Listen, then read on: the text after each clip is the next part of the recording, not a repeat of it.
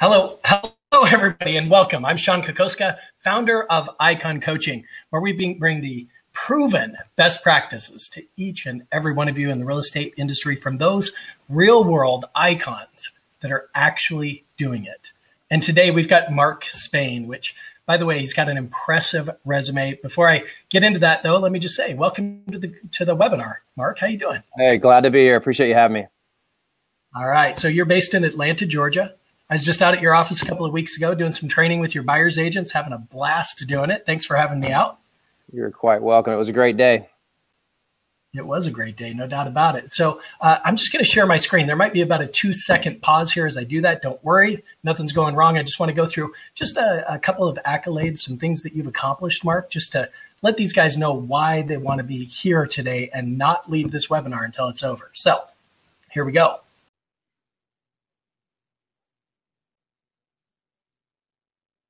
3,000 homes this year alone, Mark. Congratulations. Um, obviously, uh, top 100 fastest growing privately held companies. You've uh, from the uh, uh, Atlanta Business Chronicle, you've been awarded the best places to work for small business, as well as uh, you know, been endorsed by Barbara Corcoran from the Shark Tank. That's phenomenal. And uh, you've also been um, granted the Real Estate Marketer of the Year, and um, you're the Atlanta Board of Realtors Crystal Phoenix Award recipient. Now that you gain because of 20 years in multi-million dollar sales club. Congratulations, buddy. So what's next for Mark Spain? Yeah, I think for us is we just keep scaling and growing our model. We've uh,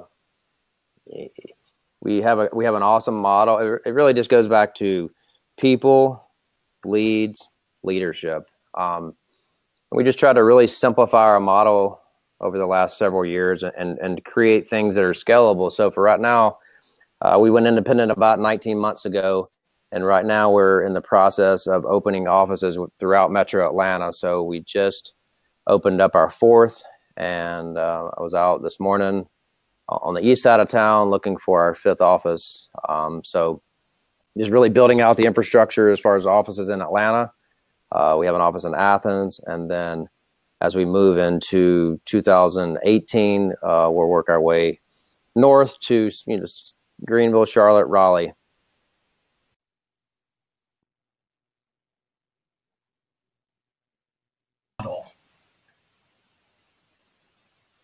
And I don't know if you heard me as I switched the screens back yet. Uh, Mark, what I'd like for you to do is just share with us all your philosophy, your philosophies around your expansion model in essence, why are you focused on Atlanta right now? Where I'm, I'm hearing of agents that, for example, they love to visit Hawaii, so they're going to open up an office over in Hawaii. Uh, or maybe um, they, they love the West Coast, yet they're based on the East Coast, so they're going to open an office in San Diego. Talk to me about your philosophy around expansion. Yeah, so the, the, the, our initial phase of expansion is really just a you have to have a model that's and a lead generation system that's scalable. Um, and so we have that, and, and, we really have worked on the last three years, just really systemizing our team and really knowing our metrics so that we can we can track. At the end of the day, you know, the lead generation side of the business is just math. Um, and same thing on the agent side. I mean, it goes just really back to math and conversion rate. So you have to generate X number of leads, have an X percentage of conversion rate to spit out an X number of deals per month or per year. Um, and so for us, we're building out the grid in Atlanta. I mean, Atlanta's a huge, huge city. It's a huge MSA. I mean, it's almost seven million people. Um, so for us, we want to we want to have a headquarters and then an east and a west and a north and a south office, as well as stretch to the we stretched to Athens to basically build out that office so that we tested a new MLS. We tested an office that's you know within 70 miles of our current office in case something happened. We had to run down there. Um, and it's and it's it's it's running well. I mean that that office has been open, say Athens, which is our furthest reach and expansion, about 75 miles from our headquarters. We did last month. Like we listed 23 houses and we pended 25. So I mean that's for a micro market of 20, uh, you know, 95,000 people in a very small incestuous type town. Uh, that, that's a huge success. I mean, I, I get more excited than that than closing 200 houses in Atlanta, just because that's hard to do.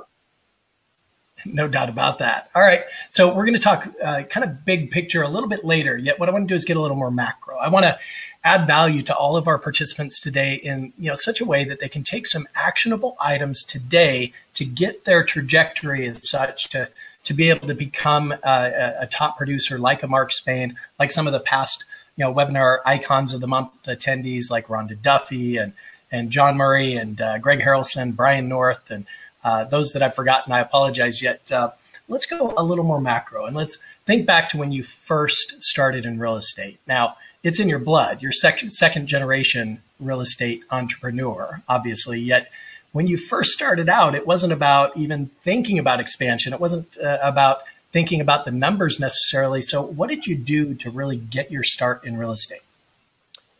Yeah, so I mean, my, my career. I mean, I started on site uh, uh, working for a builder on site named Colony Homes, which was later acquired by Kaufman and Broad.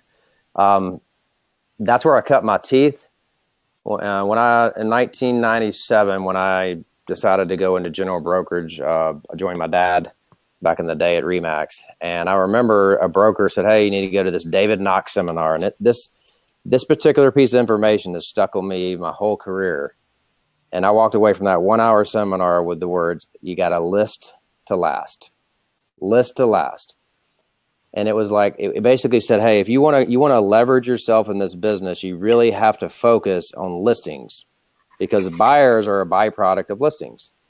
And to this day i mean we, we are a heavily on the listing side of the business. I mean i bet you we're probably 70% listings 30% buyers. And if you look at major teams we're a little bit of an anomaly in the sense that we have such a heavy listing team a lot of a lot of my friends have have uh, a lot heavier buyer business uh, where they bought an aggregated type leads where we just really haven't done that on a huge basis. I mean, we've dabbled a little bit in some Zillow stuff, but I mean, not not like a lot of my colleagues have. So we really just focused our lead gener- lead generation efforts, you know, starting 20 years ago on on, on the on the seller, and it's it's paid off. I mean, because if you have eight nine hundred listings in a town or 100 or 50 whatever your number is you know, my dad used to say you can't sell watermelons from an empty truck. And so for us, we always want to keep our truck loaded up. So if we run out of listings, we're not going to have anything to sell to any buyers. And so that's been our focus. Well, that's fantastic. Okay, so you start as a new home sales agent, yeah? Right. And then you decide to go into to brokerage. What was your lead generation strategy? I mean, obviously you didn't have the marketing budget you have today, yet how did you start developing leads? Yeah, so I'm one thing you'll learn about me is I'm a big student, and, and when I want to when I want to learn and perfect something, I really put my heart and soul into learning everything I can about it. So, I mean, I just started studying lead generation methods and, and what you know because what you use to attract a buyer, which is really just advertising your leads, your, your listings, is very different than how you how you advertise to get sellers. And so I just really went out and studied. You know, I became a big student of Hobbs Herder, and um, uh, I started a postcard. You know, we basically started a postcard advertising campaign, and you know, um, created a personal brochure and mailers and letters. But also, what Hobbs Herder taught me, and what I felt like they were really good at at the time, is they really had, knew the math behind mailing and target marketing, and didn't do as much in TV and billboards, but they did understand the the, the you know cost per thousand type CPM model, which is just an advertising term um, how much it costs to reach a thousand people. And I, and I started mailing out to, you know, um, I basically what I did is, and I learned, I learned this as well from Hobbs Herder is you, you, you find your niche, you'll get rich, kind of like the Allen Domb type model. And these are guys I studied back then. And I said, okay, how, if I'm going to do mailers to neighborhoods, how can I be different? What can be my niche? You know, could it be I graduated from University of Georgia and I'm gonna I'm gonna track I'm gonna go after UGA graduates, or I grew up in Snellville, which is a geography farm, or what is my niche? And I said, how how can I be different? So what I said, you know what, the builder I just worked for, Colony Homes, builds one of them a great pr- product at a price range that I want to work. That's the type of clientele I want to work with. And I know every single floor plan. I know every single component about that house. There's not a real estate agent in America that knows more about, you know, a resale agent that knows more about their product. So I said, you know what I'm going to be? I'm going to become the Colony Homes resale expert. You could tell me any floor plan you had. I could tell you how many square footage, what who put the siding on, what kind of panel box you had, what kind of cabinets. If you had a warranty issue, I could get it fixed. And it's like, it worked. and I just started really mailing postcards. And, and I'm i tend to be very aggressive, and Hobbs Herder's approach back then was very aggressive. So I would mail postcards to just say I had 35 neighborhoods, maybe 2,500 homes that I mailed to. So for I mail a postcard a week for eight weeks straight. And then I mailed them three times a month for the rest of their life, or as long as I was in that campaign. And then every time I listed a house in that neighborhood, I sent out a just sold card and every time I, I mean, just listed, and then every time I sold one, I sent a just sold. So some people would get 10 piece, pieces of mail from me a month. And it was so aggressive that I'd have people either come to my office and bring the postcard and say, quit mailing to me, or call up to our office screaming at me. And I said, you know what? That's when you know you're doing it right. And and and when and, and all that sounds like a lot and a lot to manage, but what I did was again, I'm a systems guy. I'm a big Michael Gerber E-Myth guy. I went to a mailing house in town and I found out, you know, who, who's the biggest mailing house. I went down, I met with them, I educated myself, and I said, hey, I need to create a system. So every time I list a house, I need to send you the MLS sheet with a photo. I need you to take the photo off, download it on this postcard template, and send it to this neighborhood. And it just created a system, and, it just worked. And my business began to take off, and I grew and grew and grew. Then I started doing the same thing with newspaper ads. Then I did the same thing with billboards. And, you know, back then I started out with one billboard Today I have like 150 billboards, and it's just it's it's learning what works, red light, green light type revenue model, and when it works, you just lay into it, and you and you, you lay into it until you max that source out, and then you go to the next source. You don't try to do 50,000 things at one time. You pick one thing, you perfect that one, you know, you perfect that one source, and and you lay into it until you max it out, and then you go to the next one. Don't try to do 10 things at one time. You'll never do it. That's great advice. I love the fact you keep using this word system. See, a system to me is nothing more and nothing less than a standardized process that produces a consistent and predictable result. So, by understanding the numbers, you have an opportunity to really wring it out, to, to maximize it, as Mark said. Great job, Mark. What other advice? Let's just say that, that one of your listing specialists comes to you and they're struggling. What advice would you give them to generate more listings? Yeah, but if, I'm going to say one thing real quick before we jump on about systems. And one thing that I think that I, that I see so many people in business that they don't know is they don't know their numbers. And no matter what you do, you, you, you, first of all, I'd say read the book Michael, you know, by Michael Gerber, the E-Myth, and, and really master systems and understand the process of systemizing. And then in today's world, utilize technology to help you systemize. So, for instance, I'll give you an example. Of one of one of our one of our things that we do that I'm a big numbers guy, and I want to know, every, and I'm all about leads. Every day at 8:30, our system shoots me out a report that says, "This is how many CMAs we had today, listing leads. This is how many buyer leads. This is the sources. This is how many contracts we wrote." I know everything about our company in one dashboard. And then you're going, wow, I don't need all that crazy, you know, that's just too much. Well, how I used to do it was uh, we did it with an Excel spreadsheet or we just counted manually on the leads and my admin would just send me a, an email the night and said, hey, we got 13 whatever, 13 buyer leads, three seller leads. But know your numbers, know where your sources are so that you know what works, especially when you're spending money to advertise. I mean, because advertising is just math and marketing is math. And you got to understand the math behind it and how much you're willing to pay for a lead. Uh, and then make sure you always, always, always, always, always know your numbers. I mean, successful business people know their numbers. The ones that, because – when a market shifts, which you know it, it does from time to time, you got to know when to bury things back and learn what things aren't working. But if you're not paying attention, you can get buried very quickly and quickly be pushed out of business. So um, I just I just wanted to reiterate that, Shon, because I think for me is that's what makes our business work and that's what makes it grow fast is we know our numbers and we know when to lean into things which are working and we know when to cut things when they're not. Uh, are we yeah. perfect? No, but you we do know our numbers.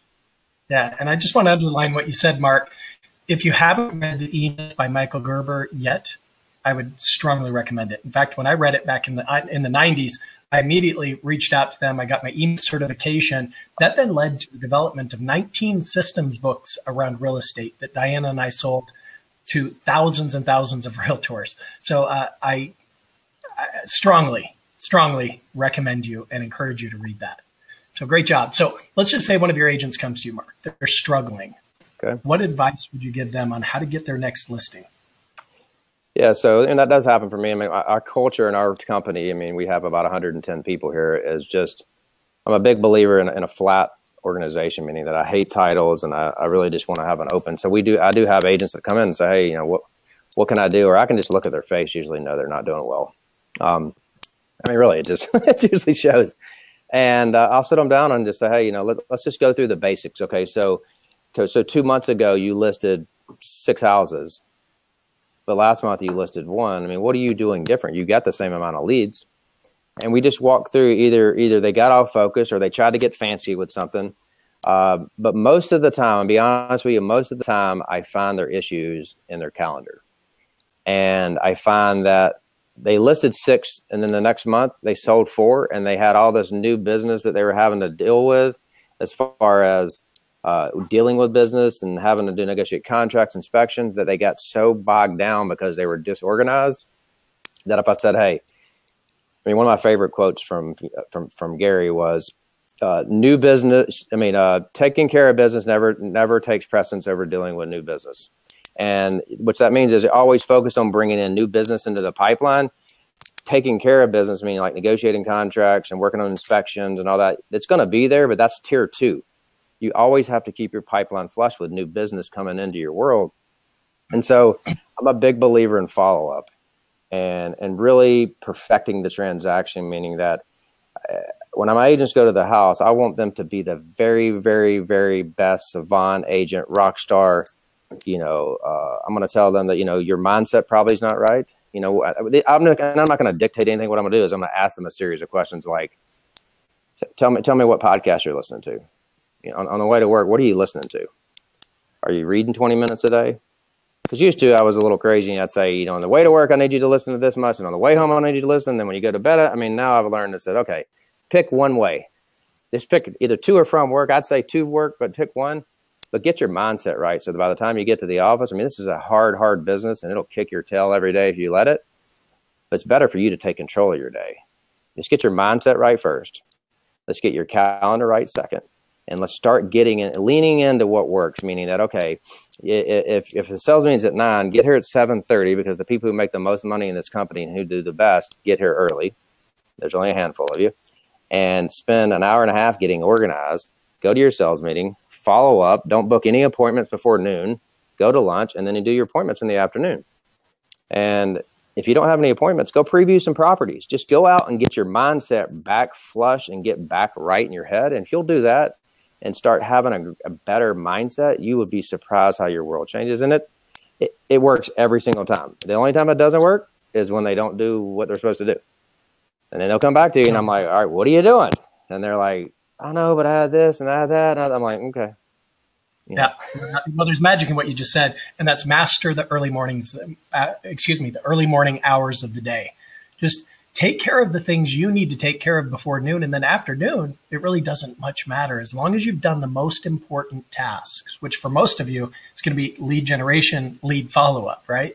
In fact uh, your job description your top 20% activities that will yield at least 80% of your result is really simple.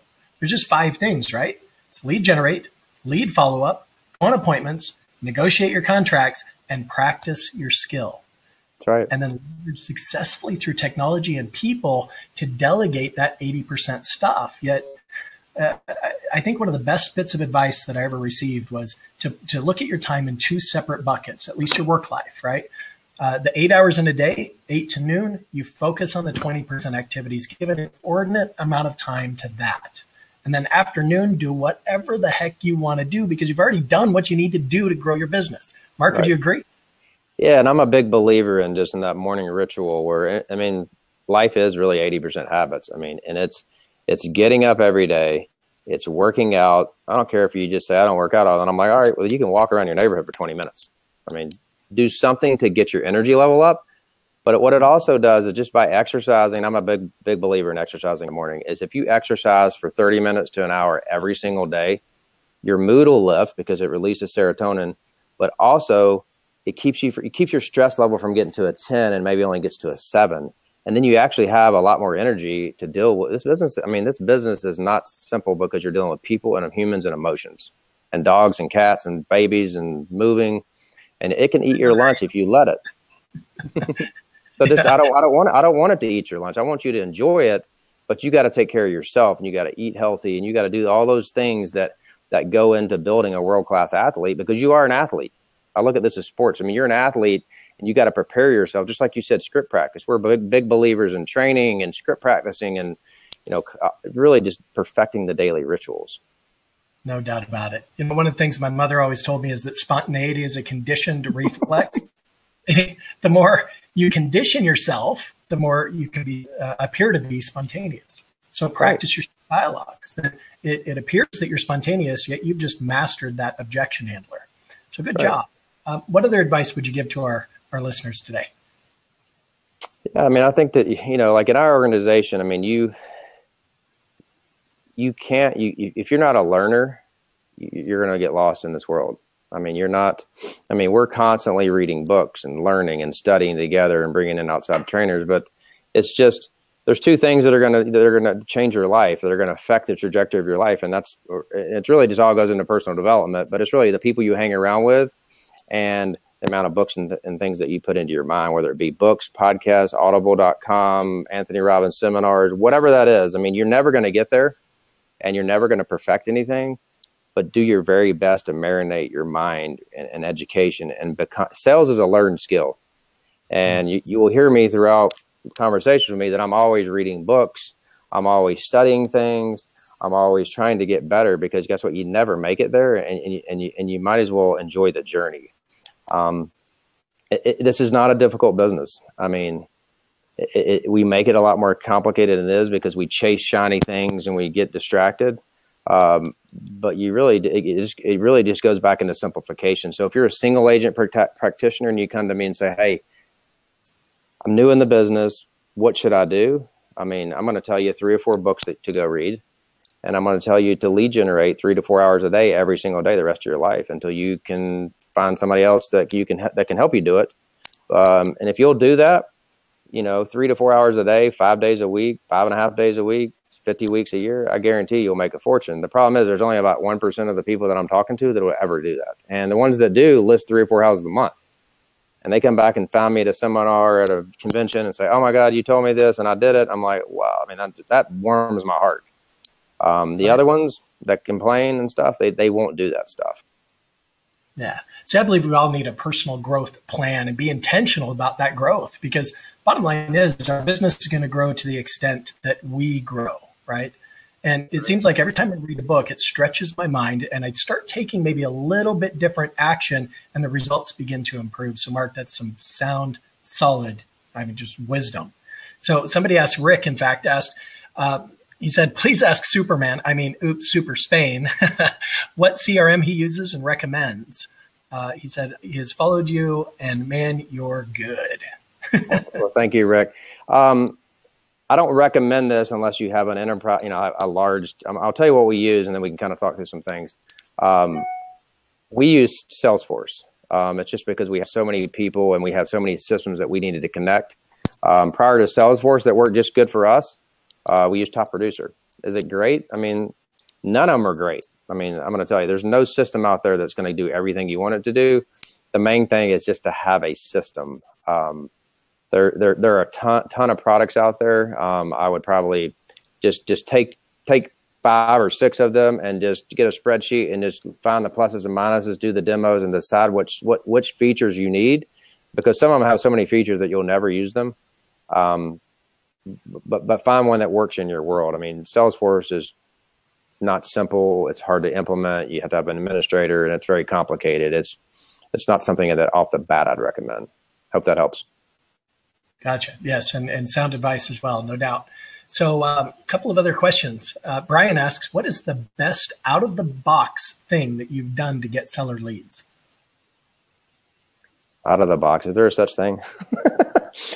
um, I mean, for me, like I, like I have relation. I mean, I'll give you an example. I mean, I had relationships with builders. So um, for about 20 years, I've had relationships. I came from the new construction world, um, and I'll give you a couple of things. And and I basically just went to the builders around town and said, "Hey, let me manage your contingencies," meaning that let me manage people who have homes to sell uh, that come into your neighborhood, and I'll add a ton of value to you. I'll do all kinds of research for you. I mean, I, I don't I don't want to be just a taker to you, Mr. Builder. I want to be a resource, a tool in your toolbox. A how I make money is to do your contingencies, but b you wanted me to do research on any land purchase you're buying, any person coming here to buy a house that's not going to listen to me. I'll do the research, and so it's, it's, it goes back to that Adam Grant's give and take. I mean, I gave a lot, but they also gave me a lot, and then now I have a you know like a 20 year relationship with a lot of the national builders here in town but I, but they know that they can get me anytime, any day, seven days a week. I answer my phone. I do the research. I help them out when they're making decisions. So therefore, they give me their contingencies to sell. When somebody has a house to sell, they say, "Hey, give Mark Spain a call." But they also know that I don't go out and take junk. I mean, I actually I pitch it as a risk management tool, where meaning that I'm not going to go take an overpriced listing. I'm going to go out there and vet out this house and make sure they're not a hoarder. I want to make sure it's tight, staged, listed price, the price is right, and, and, and I have to be accountable to you to get that home sold. So that's one thing. Um, call, I mean, honestly, circle prospecting and working, working at, you know, just picking up the phone, buying, buying a dialer like Vulcan 7 or Mojo and buying systems. I mean, just, just working an area on the phones four hours a day is the cheapest way to make money. And I think you would agree with me, Shon. I mean, that's the, that's the most cost effective way to generate seller leads, just getting on the phone. And they're not going to, I mean, if you talk to 15 people today, trust me, they're not going to all list houses and probably none of them are going to book an appointment. But what you're doing is building a relationship with those people. And then what you want to do is, again, it goes back to that give and take. Great book if you haven't read it. It's, it's, um, but basically, you're going to add value to those sellers or those future sellers, creating the phone is creating a sales funnel for you. So you're taking 2,000 people and building it down to these 150 people those 2,000 have an interest in selling over the next year. And then you're going to send them market analysis. You're going to call them once a month you're going to do, you know, maybe you sponsor their neighborhood garage sale, whatever you can do to basically market to those homeowners and add value in their life. You want to be so daggum valuable that they would never list with me or anybody else except yourself. Gotcha. Great job. Another question. By the way, I love you guys are, are typing in questions in the comments bar. It's always my intention to make at least 50% of the webinar make it uh, the content of that audience authored. I want you guys to get out of this what you came for. Okay. So another great question, in fact, came from Sean, uh, Brian, oh, excuse me, Sean and Laura both. What books do you most recommend, Mark?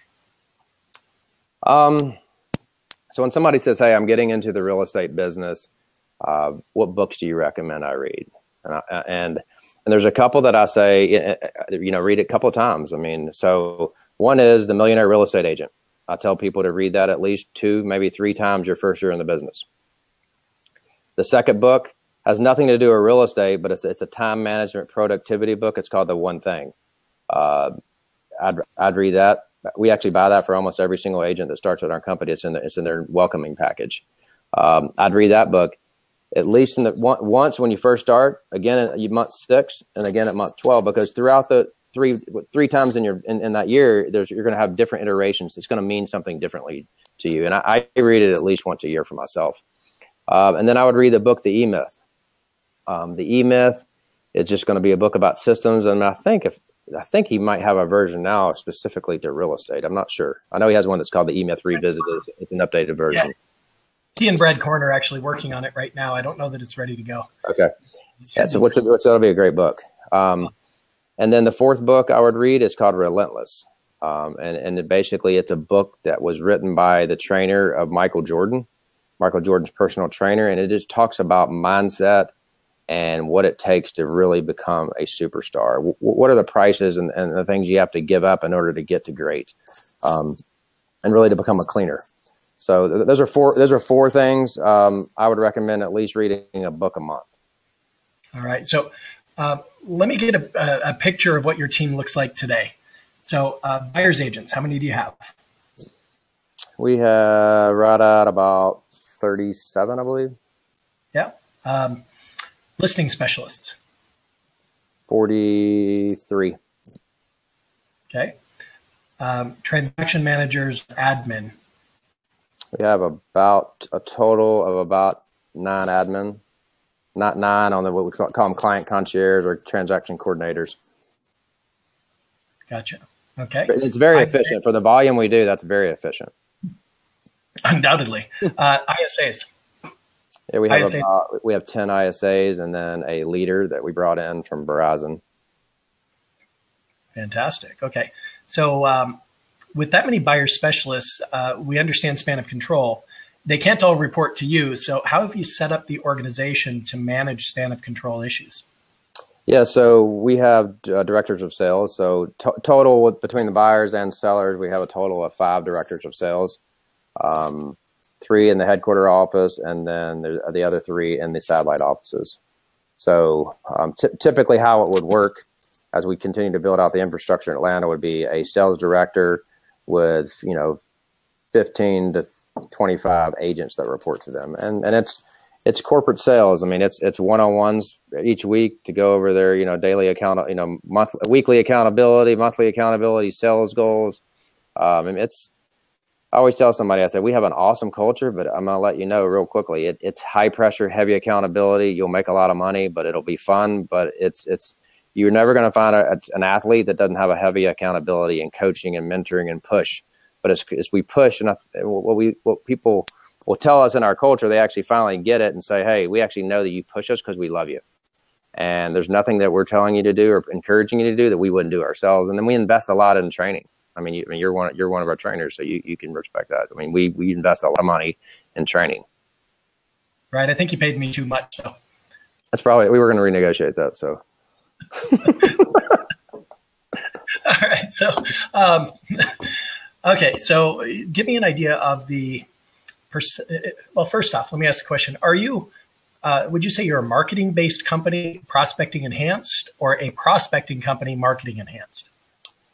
Yeah, we're a marketing based company, prospecting enhanced. That you know, um, our marketing creates the sales funnel from a really wide angle. Um, we also work really heavily for past clients, referrals, repeat business, and market to them. And then we have a intensive follow up, nurture, you know, plan. It's just really, really intense. Very cool. Very cool. Yet it wasn't always that way. In fact, in our pre-call, Mark, I remember you telling me that uh, when you first started out, you started visiting these new home sales offices, you'd bring them donuts on a weekly basis just to get into relationship with them, right? That was my sales funnel, man. I, I, I and say I, am a little bit crazy in the sense that I, I, have to have to gamify everything in my head, and I have to like really do things on an extreme, very much to the extreme. So I said, okay, if I have a hundred neighborhoods that I represent for the builders, and and they provide me business, hey, I got to make their lives awesome. And sitting in a neighborhood is probably one of the most boring things you can do. And so yeah. I want to make their lives exciting. So I would just gamify and say, okay, I've got a hundred. Pretend like I have a hundred kiosks out in the mall, and I got to service these kiosks. And so each week I would just drive around. It's just like door. It was basically glorified door knocking, but I basically built relationships with these people, and I would bring them Starbucks, I'd bring them Chick Fil A, I'd bring them lemon ice, whatever we needed to bring them to make ha- create happiness out in a boring world. Because if, on a Wednesday, not many people are coming out to the suburbs looking at houses. Thursday, Friday, Saturdays when they show up. So we just we wanted we, we became partners with these people and you know we built relationships and they're you know now they're obviously after this many years we're just we're good all good friends. I mean it's a fraternal world when you when you build relationships. And uh, one other tip that you shared with me in the pre-call is that you'd actually drive the neighborhood and you'd point out things that maybe needed to be corrected so that it would make the sales uh, process a little bit smoother. Yeah so i mean that's that's they would ask me and say, "Hey, sales are slow. What, what, can you suggest?" Or a sales manager would say, "Hey, can you ride out to such and such neighborhood and pull me a report on sales in the area, resales? Why are we losing sales?" And then look at the neighborhood. So, especially during the downturn, I mean, we added a lot of value to our builders. We would say, "Hey, we know you're not starting any more specs." Which is, you know, just a pre-build. We know that, you know, there's not a lot of activity here. So, but when you come in and like the grass is growing out of the silt fence, four foot high, trash is all over the sites, and it looks deserted, we've got to like let's just fake it. Let's take these first three lots, take a bobcat, scrapple, scrape the ground up, put some gravel down. Let's make it look like we're starting a house. Let's let's weed eat the edges of the neighborhood. And I would just do all kinds of things all the time to help look like there's life created in the neighborhood, including sometimes we'd have to put up under contract signs on empty lots that we knew we weren't selling you know, right, wrong, and different. It worked. And we had to create some energy to basically give the neighborhood life because if everybody remembers back in 2010 and 11, I mean, in Atlanta, it's pretty dark. It's, it's pretty dark everywhere. I'll tell you that much. and I'll tell you what, as a past yeah. developer, I'd love a real estate agent to come in and add value to us that way, right? Yeah. To, uh, if nothing else, you know you need to do, yet having somebody stop in and just offering that advice, that support would undoubtedly add value to me as a developer. I love it. Okay, so a couple other questions. Um, Debbie asks, any suggestions you have for dealing with for sale by owners and any particular scripts that are effective? Yeah, so for me, is I mean, I've never been a huge, and it's just, just because it just was a source that we didn't choose to work for sale by owner, but um, I do know there's a lot of success in just adding value because I forget the statistic, but 90% or so of sell by owners end up listing with an agent, maybe in the high 80s. Um, it's just add value. Offer to do them a free CMA. Offer to, if their home gets under contract, you'll write the contract for them for a, like a 1% or half percent fee or free. All the, you know, go tour the, tell them that you want to go tour the house. So go tour the house for your buyers in the area and then add value to the, it's again, it goes back to that give and take. If you add value to them and you build a relationship beyond what anybody else is willing to do, they will end up, if they need an agent, go to the person they feel the most comfortable and they trust the most. Um, and not necessarily who has the best track record in that neighborhood. I mean, it, it really just goes back to rapport and, and relation relationship building. So when you go visit them or you send them something through FedEx or UPS, like a package that you might create, and there's a lot of trainers that offer like out of the box type stuff um, for FSBO packages. I don't have one. Just, just again, it's not a box that we we serve, um, but I do know that my friends who work that world are very successful in doing what I'm saying. Yeah, well, undoubtedly, and and Mark, you're you're proving to us that there's more than one way to be successful in the business, right? Oh, yeah. Oh, yeah. Our trainers out you need to call for sale by owners, or you need to do circle prospecting, or you need to call expired listings. I don't see many of them out there saying, "Hey, just go visit 100 new home sales communities per month," right? Yeah, so yeah and, I, and I think that, and I think that you have to find, and what I learned early on too, you have to find the source of business or the lead generation. If you told me, Mark Spain, you're going to have to go out and door knock, you know, 200 doors a day, five days a week, or you can't be in this business. Unless my family was starving, dude, I, I mean, that, it's so far from my personality that I would just, I, I would probably die. I mean, I could force myself to do it for survival, but that's probably about the least extent I could do it. But if you said, hey, go visit a bunch of hundred neighborhoods and builders and build relationships and bring them lunch and add value in their world, I'd be like, oh, that's that's me because that's who I am. And so for me is is I would encourage you to find. I have a friend. Her name is Anna Kolinsky, and she crushes it in the city of Atlanta and and and her neighborhoods where she door knocks with her dog and things, and she just crushes it. And I look at her like I I think I would just panic in the driveway and not be able to get. I mean, I, I don't even know what I would do. Um, but she kills it, and she's she this is what she's she's amazing, and she is so impressive because that fits her wheelhouse. But she might not fit the wheelhouse that I might be working. So make sure that because you want to do something that you're you can feel when I talk about the builder and the neighborhoods. I mean, that's where my you can feel my passion because if you're passionate about something, you're going to put your energy and 110 percent of your effort. Um, but if you're not, you're you're going to crash after two or three weeks. You're not going to keep doing something that you don't like to do. There's no doubt about that. All right, so. Um, great input. Hey, by the way, uh, one of our moderators, uh, Mike, he he put a link up there in the comments box for you all. We do have uh, free access to some of the agent tools. In fact, we've got a toolkit it includes expired listing scripts for sale by owner listing script uh, uh objectors, uh, the proven best practice around lead follow up scripts. Which uh, Mark, I know you guys do a ton of lead follow up, right? Because your phone is ringing off the hook nonstop because of your marketing plan. How do you follow up with these leads? What's the most effective from your perspective? Yeah, so we have, you know, we, we have a, and we A/B, t- we no, first of all, we test things. We we test scripts. We you know we have uh, a script coach that we have for our inside sales team. Um, Eric, our inside sales manager, is constantly working with them, tweaking scripts. They have script practice. Um, it's really heavy. If, if we don't book the appointment the first day, we also know that within that first 10 days, if it's not booked, it's going to be on a long term nurture because it's just statistically what's proven is somebody either lists their house or decides to, you know, when they're going on the site looking for a home to buy a house, ha- that, that appointment's booked in that first 10 days, or it's a little bit slower burn, meaning that it's a little bit slower time to convert. And, and you still have to stay in front of them. And all our outbound marketing system goes out and keeps touching them and we keep calling them, but it's just super intense that first 10 days.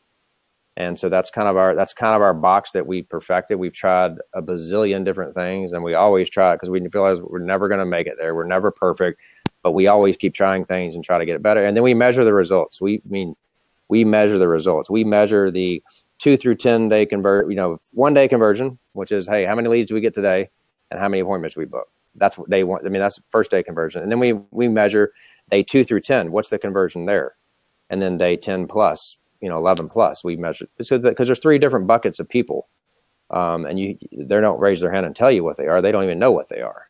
We have our job is to use data and scripts to figure that out. So, from your perspective, what are those three buckets? I want to know. Yeah, so basically, it's just you know a hot lead that's going to convert. They call us today; they're ready to list their house. There's there's the ones that come in that we're not able to get a hold of because just they, it was an e lead and they didn't put their phone number. But they're probably like people like me that hey, I'm actually ready. I just don't really want to talk to anybody, and they're going to convert whenever I hit them in that four or five day stay six. And then there's people that are just kicking the tires that might have heard an ad that might have just wanted their home valued. They're thinking about it. So after day 10, so say day 11 through whatever, they could convert in day 60. They can convert in day 120. Uh, there are people that's, you know, that those are people that are, we consider nurturers. And sometimes it's like, hey, if I could find that right house, I'd move. Okay, well, our job is to find you that right house.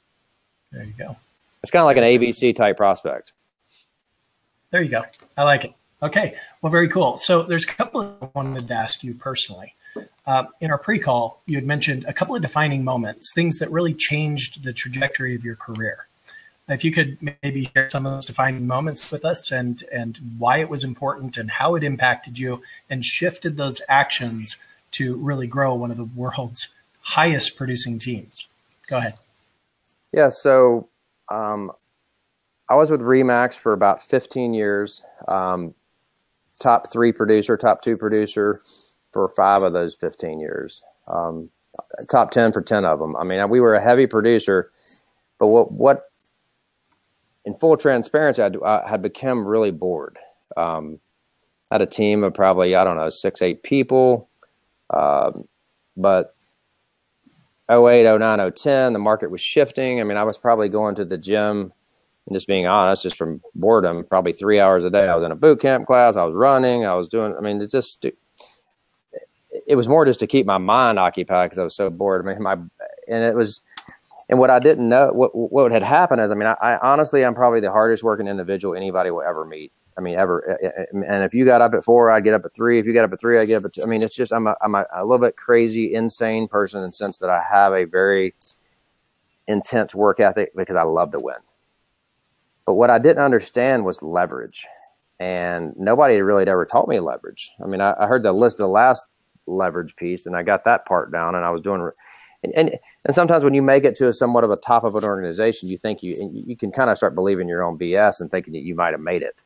Um, but what it was is I was missing some key relationships in my life, and so I left Remax in 2011, joined Keller Williams, and got into a relationship with a guy named Gary Keller. And being around him and just watching how these macro thinkers think and having somebody really push me to a higher level and realize that I was thinking way, way too small. I mean, like, I can remember going into the first mastermind, uh, and he would just, there's a small group of us in his office, and he was, he was like, Spain, how many transactions are you going to do in the next three years? And I'm like, mm, 500? You're thinking too small. I'm like, okay, here's the way this is going to go. And he just kept, and I said, 750. And he said, you're still thinking too small. I said, all right, how about a thousand? I'm like, you're getting there, but I still think you can do more. And the amazing thing about it is, is he pushed me to, to such a big, bigger thoughts and, and really changed my mindset in business and life that uh, he, he, I have a lot of respect for that person. I mean, I just, um, I'm very, very grateful to him because he taught me how to think bigger. And in 2013, when I joined Keller Williams, we did probably about 450 transactions, 420 transactions that year. Three years later, so that's 2011. 2013, we closed 1,446 transactions. Um, so to say that man impacted my life and helped me think differently uh, is an understatement. And what he taught me was leverage. I mean, that the bottom line is what I learned from him, and I walk away with among many things. But the big rock is leverage. And one of the most impactful things that he said to me was, when you're unhappy in any area of your life, you're missing a person. And I learned that if you're unhappy in your marriage, you might need a marriage counselor. If you're unhappy in your spirituality, eh, and then you might need a, a spiritual counselor, a preacher, a priest.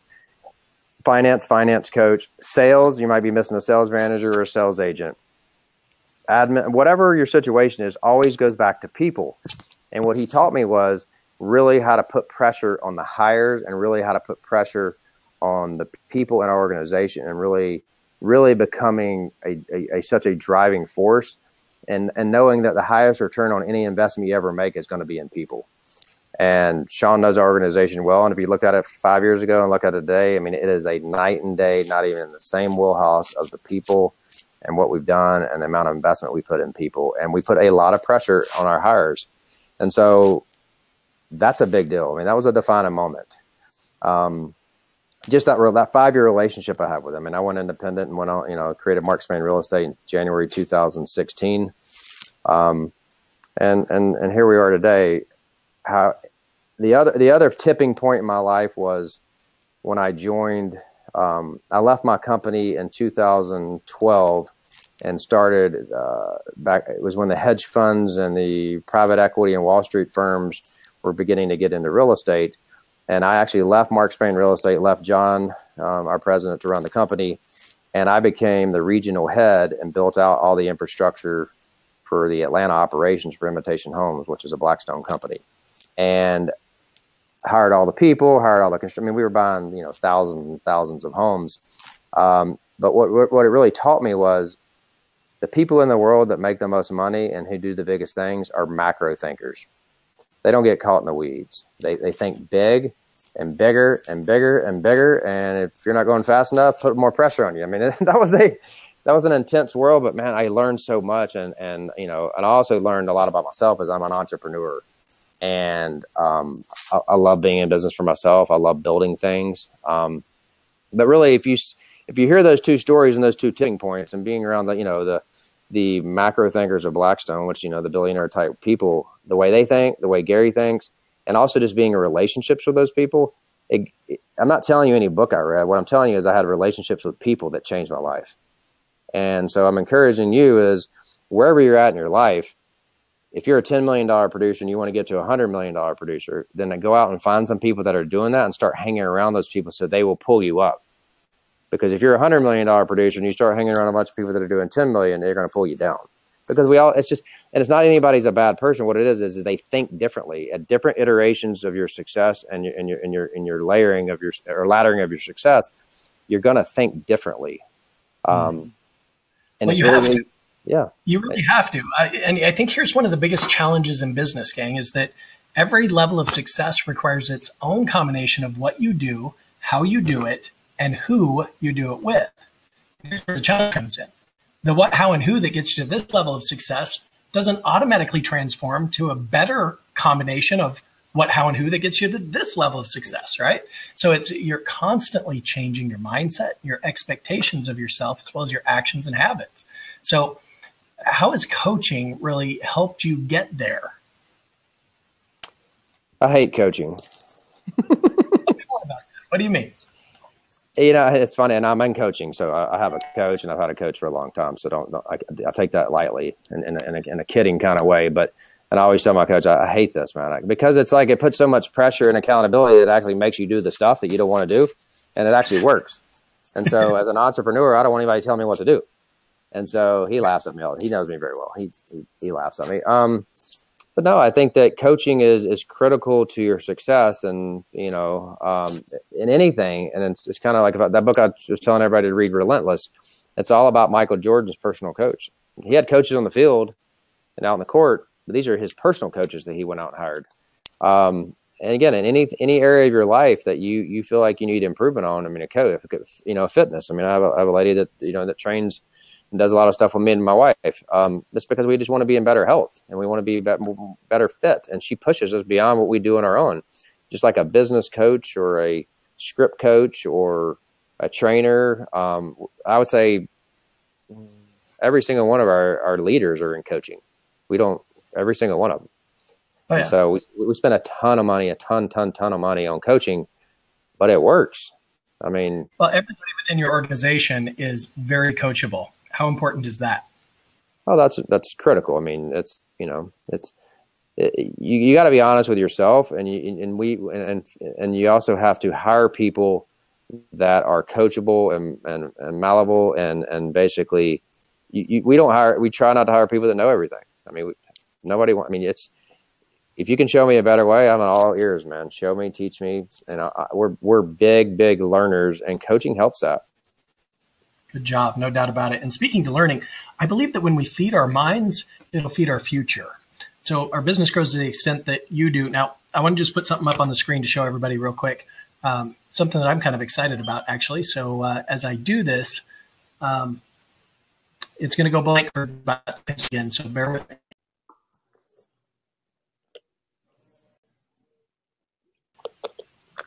All right. Okay, we're back. So, future icon of the month webinars. I just want to let you know. Uh, and again, gang, these are always free. Mark Spain today. We got Craig Northrop, August 3rd. We got Ryan O'Neill, September 7th.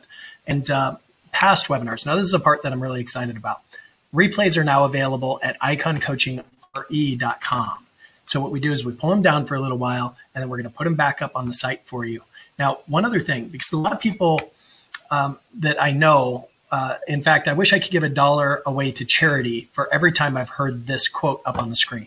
I'd love to be coached. I'm just not ready to spend thousand dollars per month yet. So uh, I wanted to I wanted to come up with a solution for people. And we developed the Icon Accelerate. It's 90 days to your success, gang. All the things on the left, they're included in the fee, and it's super duper cheap. So you get $1,495 worth of value for a one-time payment of 750 or payment plan, three payments of 299 and gang, I think that that is probably one of the easiest things you could do to improve your trajectory. And it's it's the least amount of investment for the amount of value you're going to get out of that. So I, I believe you've got a, a, maybe an offer that's appeared on the right side of your screen. If you guys are interested, you want to learn more, just click on that, check it out. And those are serious about bringing your, your career to the next level. And you're not kidding yourself uh, you can reach out to us for a strategy session. Now, that's free of charge. What we're going to do is we're going to share our models, our tools, and our systems that we've learned from people just like Mark that are out there doing it every single day. And again, it's free. So we'll focus in on the gaps that exist in your business and we'll develop a plan together to help you bridge those gaps. So there's a special offer again on, on, the right side. Feel free to check that out. Um, and by the way, the special offer has to do with the pricing associated with the Icon Accelerate. That pricing is going to go up in two hours' time, guys. So you're going to see a, a timer there. I really want you to invest in yourself and take action. Now I'm going to go ahead and stop this. And we're going to get back to your questions with Mark. Yet, thanks for letting me.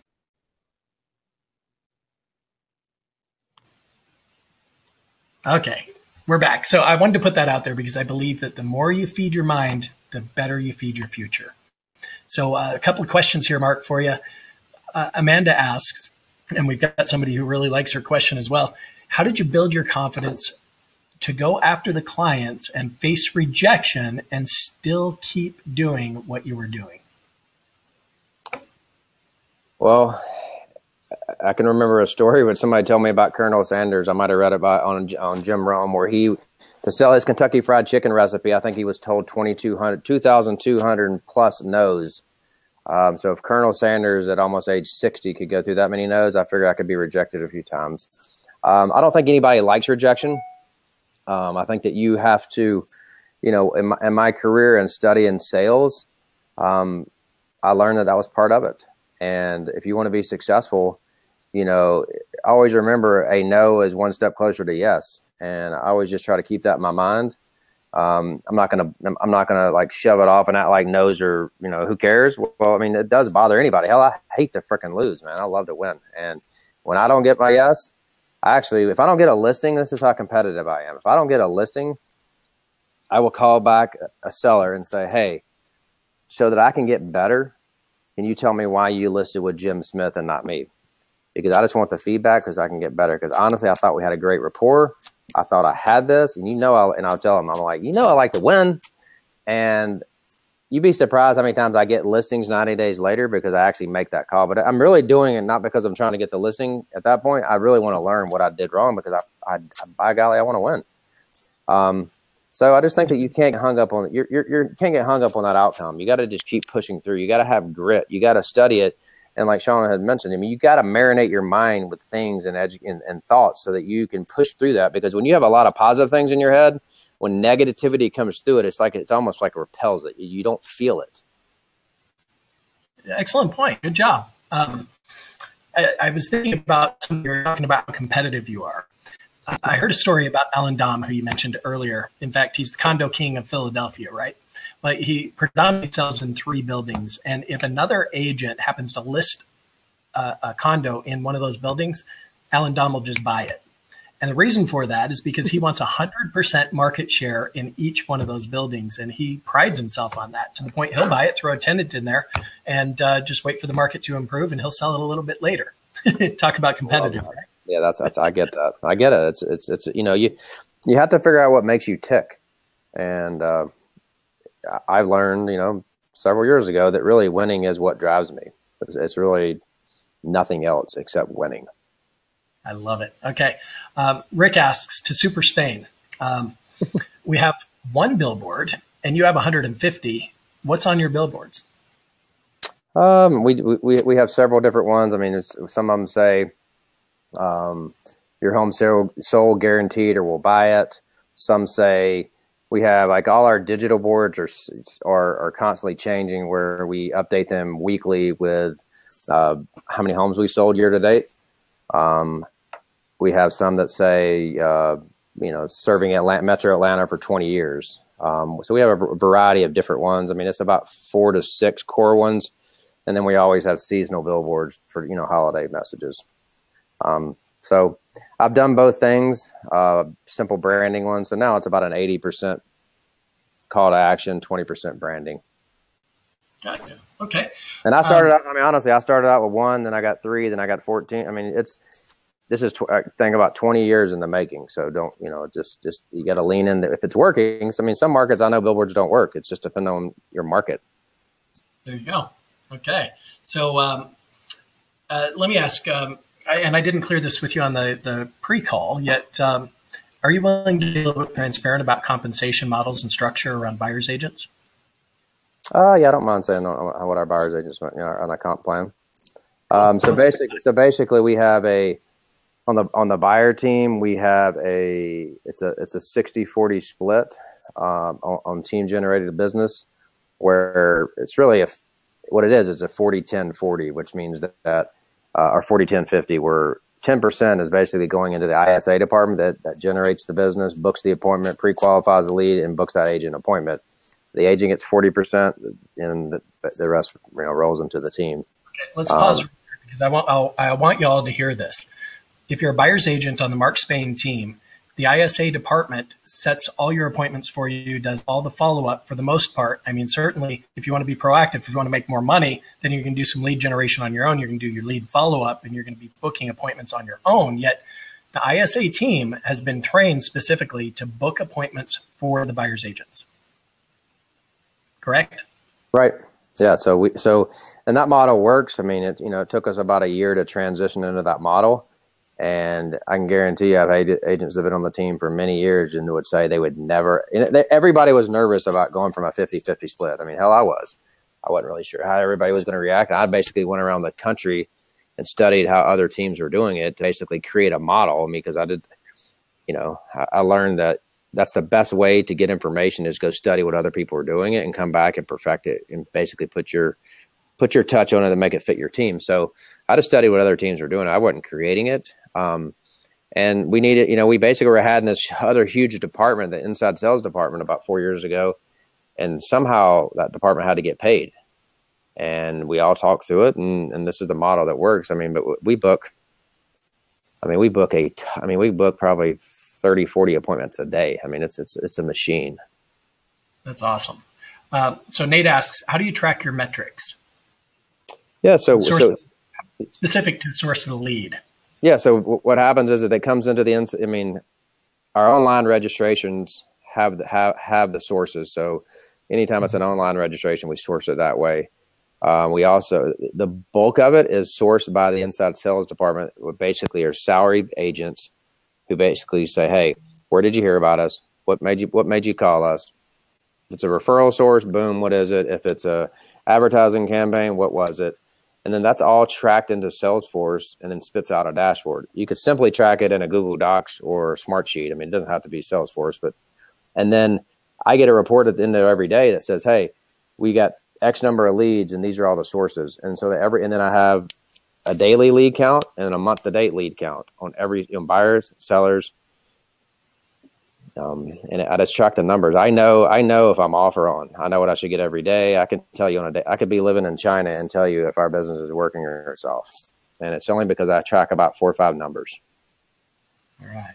Uh, Mark, we're at the top of the hour. You mind going a few extra minutes? We got a, just a bunch of questions that are flo- floating in. No, go ahead. Let's go. Beautiful. Uh, Christy asks, how do you recommend getting out of the weeds? She says, I keep getting sucked back in every day. Yeah, we call that the vortex. um, time block. Yep, you just have to time block. You have to be so so committed to your time block and committed to your goals that you're willing to do whatever it takes, including having somebody else hold you accountable. So if it's just to say you're not really good at lead generation, which is probably 90% of us, and that should be your one thing. I mean, follow up is the one thing. Lead generation follow up is the one thing for every single person on this call. If you're in real estate, if you got to perfect, if you you can do anything, you could be terrible, but if you're good at lead generation, you're going to make a fortune. It doesn't it doesn't really matter. You can be terrible at negotiating contracts, but if you have more leads than everybody else, you're going to win the game. Um, and you just time block. And I wouldn't recommend tomorrow start for four hours. I mean, start for start for an hour this week. The next week do do an hour and fifteen. Next week do an hour and a half, and just keep leaning into it until you get your habits down. It'll take you about sixty days to perfect that habit, and have somebody hold you accountable. If you're in an office with a broker, I recommend coming in the office and doing your lead generation in the. I'm a big believer about being in the office and not trying to do it from home. I mean, there's rare, very few people in the world that can do this business from home at a high level. You, so there are people that can do it, but it's not very many of us. Um, it's just because of distractions. Undoubtedly. Um, so, when's the last time you went on a listing appointment? Oh, it's probably been probably two or three years ago. I mean, I every once in a while I have an older past client that a husband passed away or something happened that's such a you know it's a special deal that I'll I'll actually take a listing partner with me, but I'll go on there just because I'm the conduit and I make the person feel comfortable and whether they're trying to transition to the next stage of life. Um, outside of that, unless it's just some super, super ultra luxury type product, um, even today I won't do that. Um, it's because it's just not my role. I mean, it's not. I mean, I'm leading the company. Um, I have people that are a lot better at it than me. Very cool. Um, so I've been to uh, Atlanta, let's see, five times this year every morning I get up in the hotel, I flip on the news, I'm getting ready for the day, and I see you and Barbara Corcoran there on the television. And, and it, four or five times by the time I get out the door, and I get ready pretty fast. so, uh, how did you get into television, and uh, how did it start? How did it turn into what it is today? Yeah, so it's you know it's kind of like going back to that day when I started with one billboard and grew it to three or five or ten. I mean, I did the same thing, and I only pick one medium at a time to to perfect. And got the billboard game, you get postcards, boom, newspapers, boom. Segue from there to billboards. Then I did radio. And only pick one station at a time to really go hard on and, and, and, and lean in. Now we're on probably, you know, eight or nine different stations. Um, TV, you know, I've been playing in TV for almost probably a little over three, maybe four years. And I just, I played with it. I mean, I, I made, trust me, I, I spent a fortune making mistakes. I mean, I, I burned through some cash you know, um, where I think it's either my way or I go too cheap or I try to go on the wrong station. Um, and, and again, I just, it's all math. I mean, lead generation and, and, and media buying is math. And so you, you spend X dollars, you know what your leads can cost you and you get an output and you have to give it a good burn rate because it doesn't just start working the first month. I mean, sometimes it could take six, 12 months to start working and you got to know where those thresholds are and have enough capital that doesn't put you in a bind to get you there. And it's we just set aside a certain amount of capital to basically say, hey, we're going to try this medium.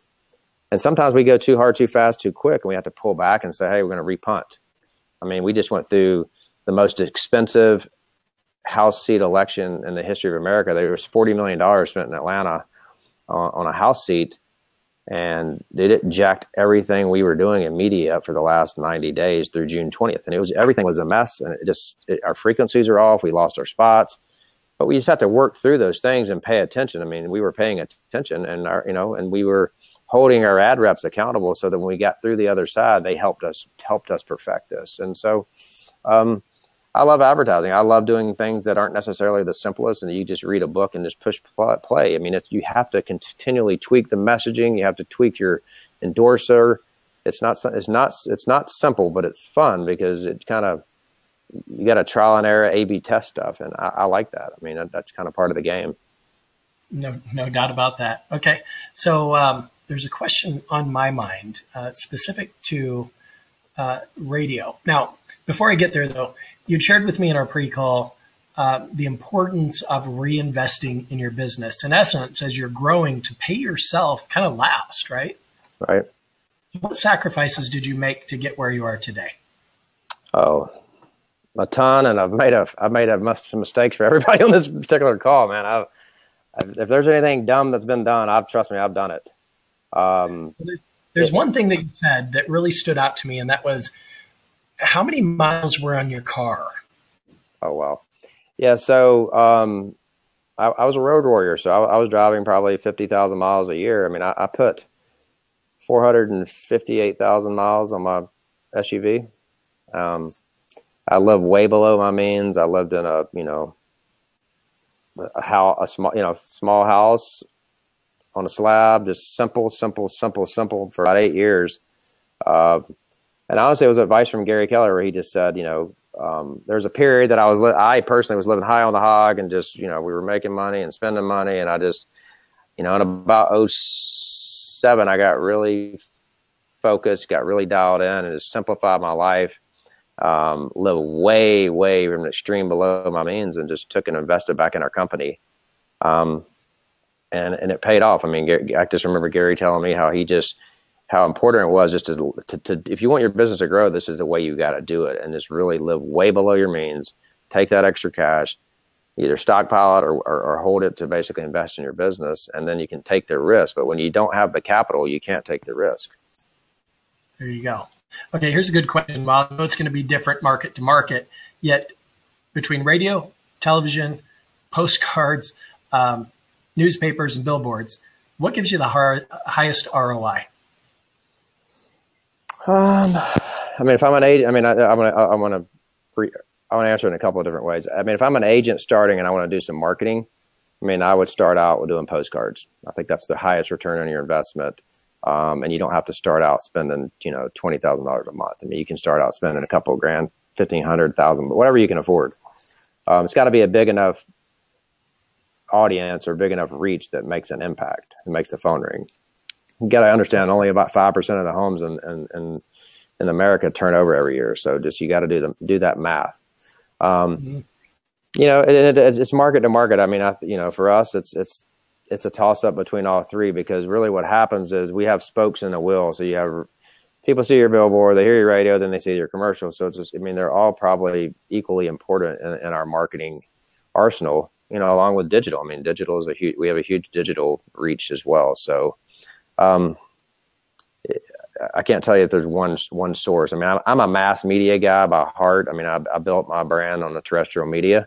I mean, I have my, my director of marketing, Joe, ran a digital ad agency. So you can understand this little tug of war he and I have. I mean, he used to think that everything I did was like old and outdated, and he actually now knows that it works. Um, and, and, and, you know, he, he does all this crazy. I mean, he's major, major, major digital guy. So it's kind of, we've had a great marriage and, we've helped each other grow. So, um, you know, I think just um, whatever you do in any market, you have to just try things. You have to try it for a period of time and A/B test it and make sure you're getting your return. I mean, you know what the average commission is in your market, and you have to know what you're willing to pay for a lead to make yourself an X number, you know, X dollars of profit based on your conversion. Very good. So Jennifer asks, uh, has social media advertising been successful for you? And if so, what works? Yeah, um, it, it, does work. Um, we generate a significant amount of leads, and what works is, and, and this is this is where we had to really, because it's interesting with advertising, you can do things that make you feel good and that make the audience feel good that do, doesn't make the phone ring. And I'm a in your face call to action, and that's what works, and that's what works on Facebook too. That's what works on any of our digital channels. Um, so find your messaging and, and, make it a strong call to action. And you can do a split between, you know, 50 50, brand building, storytelling, 50% call to action, 70. You figure out what mix works. And I will tell you one thing that we have learned too is there is a seasonality to like we have a lot of storytelling ads, but we can't run our storytelling ads that win a lot of awards and do really awesome in April, May, and June when the freaking phones are blowing up and people are just really aggressive. I mean, there's a seasonal. So what we've learned is, you know, some of that storytelling stuff works in a slower market for us and builds brand equity.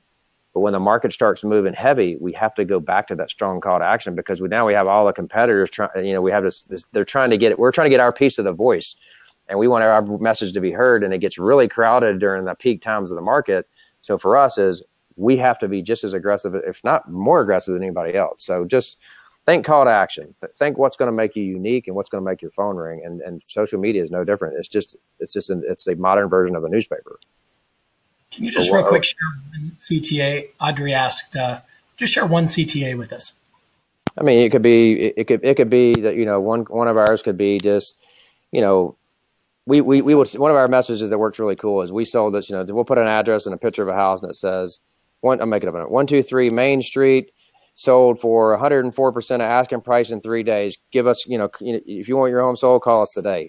It's that simple. And they can click a button and they can make the phone ring.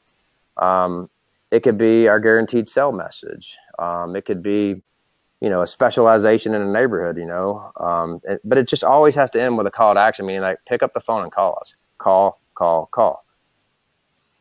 It's very cool. All right. So, uh, any last words of wisdom, Mark? I know I've kept you almost an extra 15 minutes. Thanks for the extra time, buddy. what, uh, would you say to our audience today that would just improve their trajectory, improve their income and their lifestyle? Yeah, a, a couple of things. I mean, uh, first off, I mean, just always remember that your success and the trajectory of your success is always tied to your the proportion or the amount of personal development you invest in yourself. Um, like I mentioned earlier, I mean, could be going to an Anthony Robbins seminar or Robin Sharma or whomever, uh, Darren Hardy or people I like. Um, always be a student. Commit to at least you know five days a week to marinate in your mind 30 minutes or more in some type of education if you want your if you want to go faster, then you know then increase the amount of time you're putting into personal development. I mean, I know some guys on in our world that spend a couple hours a day. And by the way, Warren Buffett, I believe, reads four to five hours a day every day in his office. Just to kind of give you an idea of what what what heavy successful people do in reading and studying, and then just pay attention to what you're doing and pay attention to who you hang around with because if you want to be super successful um, you need to hang around successful people and find people in your world that can help pull you up versus pull you down. Um, and then finally, know that in this business, we are in the lead generation business. And this will be the final thing that I'll mention to you is that if you want to become the very best in this business, then you have to perfect lead generation. And that means perfect follow up and perfect, you know, doing follow up tasks, you know, three to four hours a day if you're going to become a savant. And you know commit to it and have somebody hold you accountable. Hire a coach. If you're not good at it and you're not good at dis, you know disciplining yourself i mean by all means go out and hire a coach and somebody that can help you get to the other side because i can tell you every single major league baseball nfl pro nba player they all have coaches both on the court and off the court um, and that's important no doubt mark thank you so much thanks for being our icon here in july of 20 and I look forward to our future conversations and, and having you add some more value to this audience today. So thank you again. Well, thanks for having me, and I appreciate everybody being on the call. All right, buddy. I'll see you soon. See you, Take care. Bye bye.